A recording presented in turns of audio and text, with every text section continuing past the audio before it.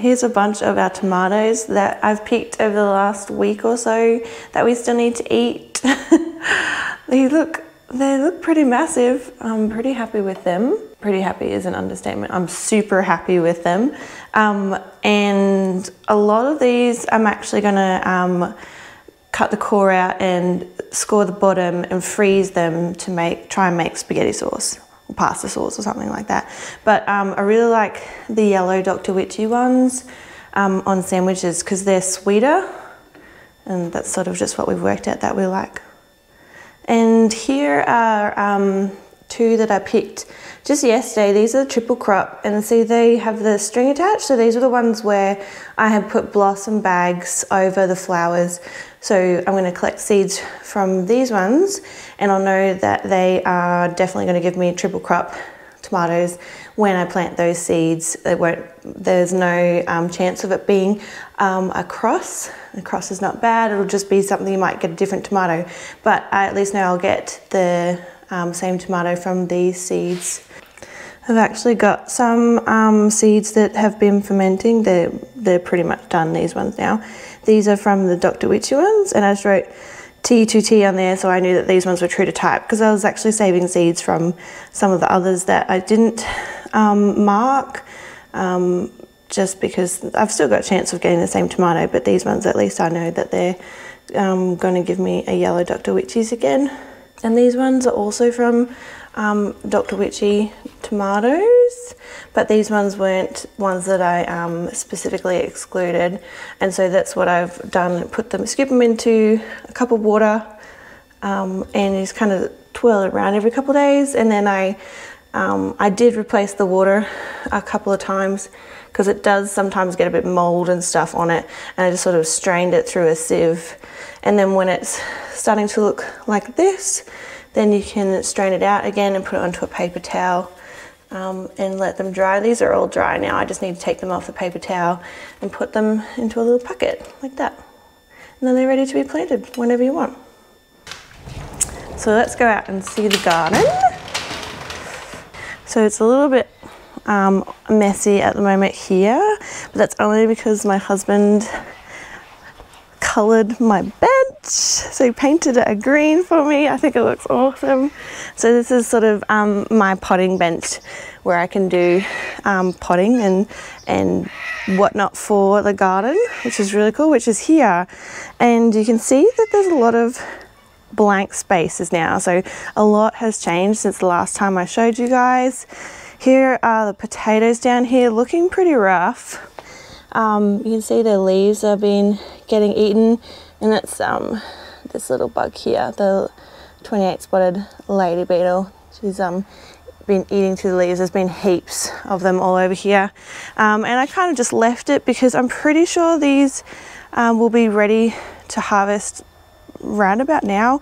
I forgot to write down when I actually planted them, but I feel like it's been about three months. So I'm going to look at um, digging them up and hopefully we will have some tomato, uh, potatoes under there. So they're the purple Congo potatoes, those ones.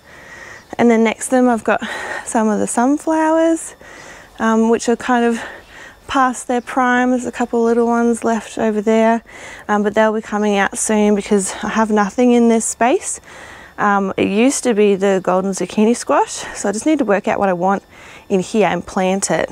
And this here, since it since I ripped everything else out, this really exploded. This is the Purple Prince Zinnia.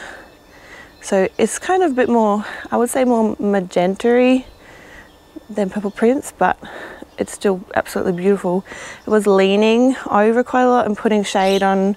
I've got some more seedlings in the ground that I'll show you. So I've put some stakes in either side and some twine to hold it up a bit so I can get some more light to the rest of the garden. It's got cobwebs all over it. But this one was really cool. It's got like three flower heads sort of all in one, which is kind of neat.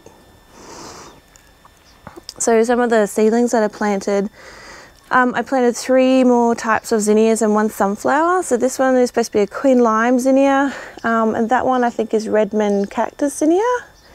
Um, there's the sunflower there. It's a, um, it's a big one. I think it's striped mammoth or something like that. Well, it just says mammoth, so we'll see.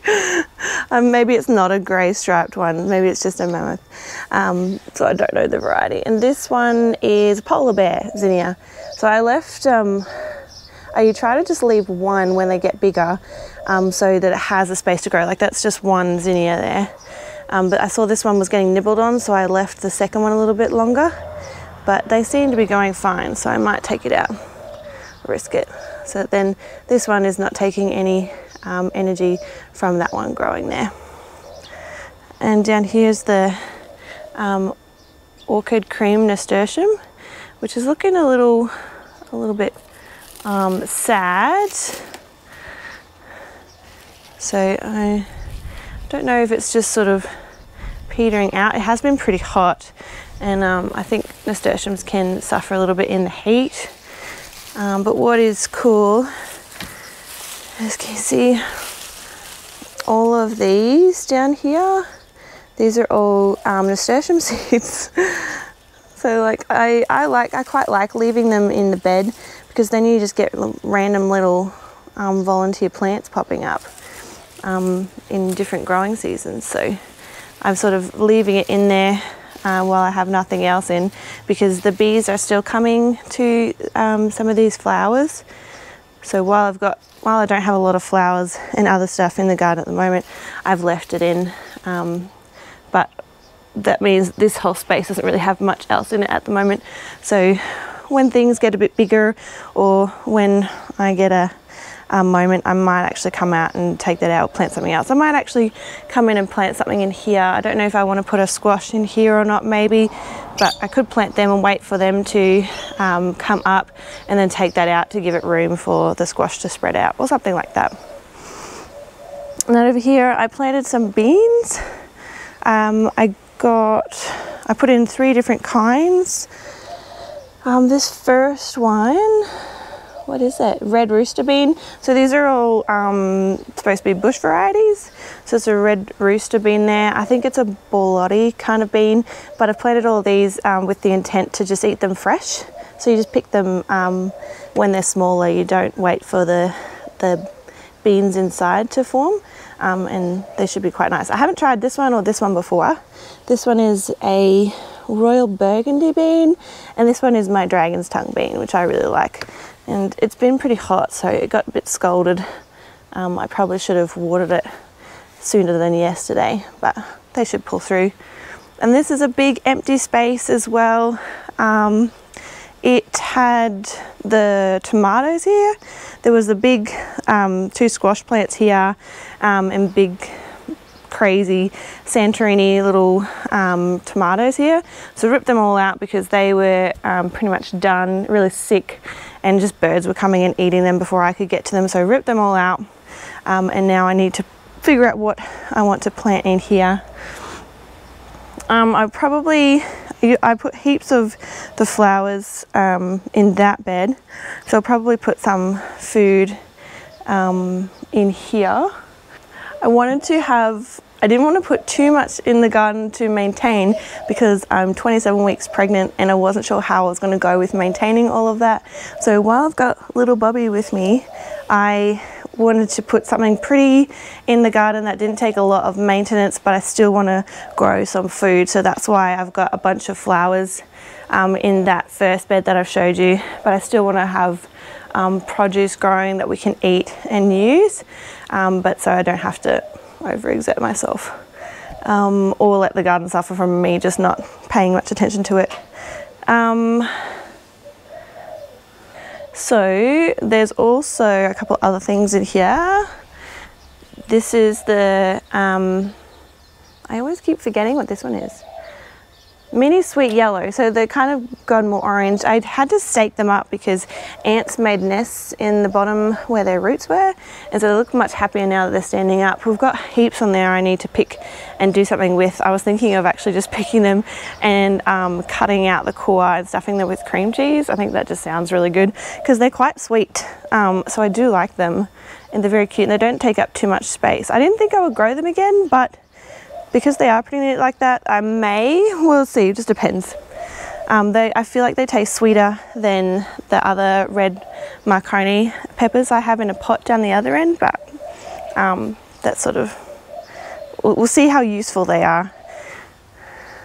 But these ones I love, look how cute they are.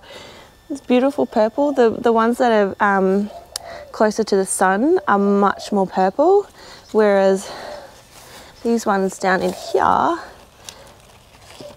that um, have not had as much sun are very pale purple.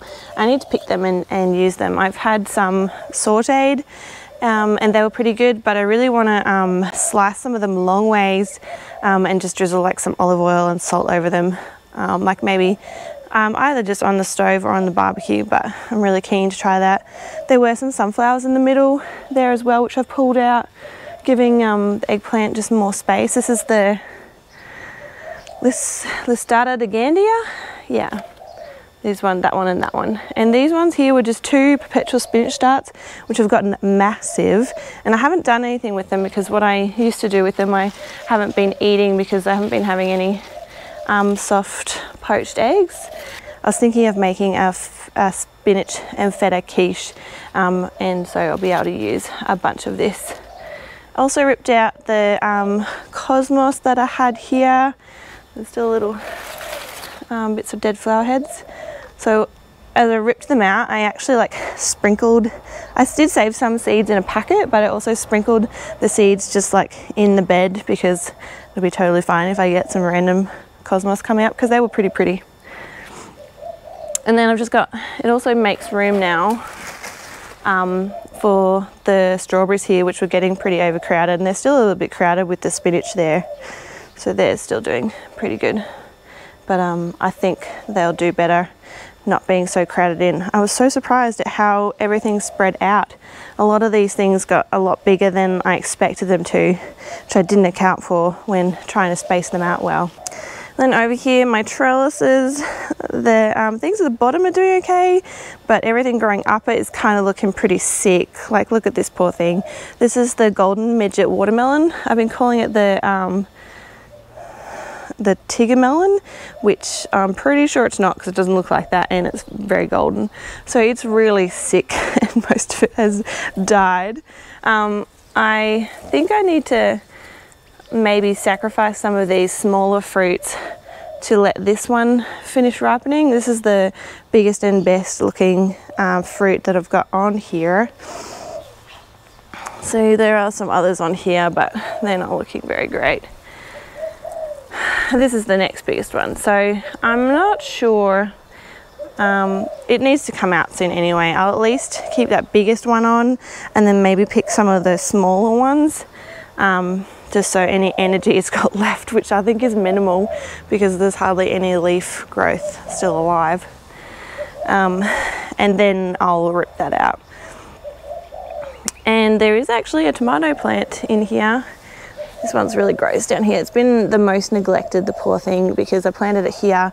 It got sick first. It was really slow growing. And all of this beautiful purple basil has gotten so tall. And this one, see, it's all like bent over. This is the top of it here. See, it looks, it looks pretty yucky. So, oh look, I've got some bees. So the basil, I've let a lot of it go to seed because the bees love it and it smells really good.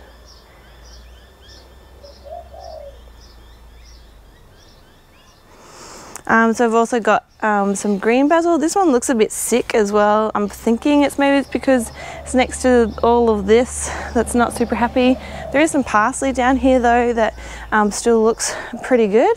So I'll leave that in the bed and I'll still leave the basil in because it's helping the bees. And then a lot of these tomatoes along here, I'm leaving in just to get the rest of the fruit that's ripening. And then I'm pretty sure I'm gonna rip it out because they're looking really sick, um, most of them. So like this is, these three are um, triple crop. So while, like you can see that there's fruit down the bottom, but there hasn't really, apart from these ones, there hasn't really been any fruit getting set up top. I think it got, I think they got sick before it was able to start doing that. I mean, there are some blossoms there, but I, I won't let them set. I'm just waiting for that one. Um, this one is mm, yellow ox heart. So we've, we've had a few of that, which has been really good. And there's some blossoms set up here, but um, there's one green one down there that's pretty small and doesn't look super great. So I might uh, it's hard to like work out. You got to make a sacrifice of what are you going to leave, or if you rip it out and you put something fresh in to be able to let it go. So I might um, end up ripping that out because I also don't. I've ripped out the Thai pink egg that was here and cut back some of the basil, and I've planted two new tomato plants. So there's one there and there's one over there, and they're just a yellow cherry pear. Um, and so I don't want them to get sick from these ones. So once sort of some of these fruits ripen, I'll probably just rip out all of the tomatoes over there. And the same for these ones over here. So I ripped out um, the orange cherry that was there and that's the new yellow pear, cut back the basil. This one I forgot to cut out the stump when I was removing it. It was really sick. It was a tigerella, I think, and it was only a small fruit. I thought they were big ones, so it was cool to see it, but I don't think I'll grow that one again. Um, these next three, they're the Dr. Witchies, which have done really good, um, even though they're starting to get, they're still looking a bit sick. This was the one that um, I it, the top of it snapped off and I let um, one of the side leader stems grow. And so it's still doing well but it, the whole plant is still kind of looking a little excuse me a little bit sick. At the top it looks um, a bit more healthy but um, there's not a lot of fruit set up the top. So I will probably do the same with these ones down here it look this plant here is a Dr. Wyche's and it looks healthy up the top and has actually set fruit up the top but it is still sick down the bottom. So we'll see, but it still has like quite a few green fruit on it ripening. So this one might stay. These ones will go once the fruit has ripened. And the same for these tomatoes down here. These three are Brandywine Pinks, which were very confusing. They looked very similar to the triple crops. There, was, um, I had to make sure I knew which ones I were picking to take inside for seed saving because they looked so similar. Um, but once these, once I've collected the ripe fruit from here, I will probably take these out as well. There's, although there is like still one up here, so the top of it looks um, healthy. I need to tie it up, but it still looks sick down the bottom. So that one will come out once those fruit are ripened. They're not very far off. And then I've got some more basil here. This um, brandywine I might take out because it's sort of just getting overtaken by the cucamelon, which is amazing. But I found I haven't been, we haven't been snacking on it as much as we have previously. And you see how much it has taken over that trellis there. Ah, uh, yeah, I'm still undecided. It looks really pretty and it's cool to have little snacks, but I honestly haven't been eating a whole lot of them. Um, so we've been giving them to friends and whatnot, but I don't know, do I want to leave it as something that looks pretty or actually take it out and plant something like I could plant um, maybe some beans to go up or something like that. I'll have to work out something once I take out all the tomato plants anyway. So yeah, still working that out. Uh, and then there's just my um, Sweet Marconi Reds here. I think some of them got sun scald because this corner can get um, pretty hot um, in the afternoon because the sun just comes in here and it just holds all the heat in. So I need to pick what peppers I have that um, are good. See that one's doing okay. And I also don't know, I don't know if it's sun, just sun scald or if it's fruit fly. But yeah, most of these peppers are, I think that one's been stung. Most of these peppers are pretty good. And most of them look ripe. They are pretty thin skinned. Quite hard to sit down now. Um, they are pretty thin skinned. Let's see if I can show you. Make sure there's no bugs. Oh. Actually, this one's pretty good. And it's completely sweet. It's not a hot pepper at all. I have to say this one is better than probably the first one I had. It's a lot thicker skin, which is nicer because you get more flavor. It's more, um, it's more crisp. It's not just like you get a lot of flavor in. I think in the in the in the water of it. Like it's more refreshing, I think, than the first one I had. So maybe I will grow this one again because I was thinking that I might not. But it's done so well in that pot. I have been fertilizing it with just like a liquid fertilizer every now and then. Um, and it's um, surprisingly, it's made a comeback, I think. So that's just about it of what's going on in the garden at the moment. Kind of in the middle of, well, it's January, so we're kind of in the middle of our summer. So things are petering out, but I have plenty of time to plant new things and to get them to grow so I can harvest them. So I just need to um, make that effort so that things can get growing again. So I'll probably be going through my seeds today and working out what I want to plant and get them planted.